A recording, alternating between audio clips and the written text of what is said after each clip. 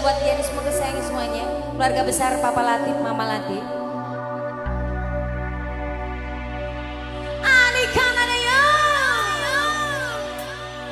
Buat masyarakat cadang pinggan wong Indramayu.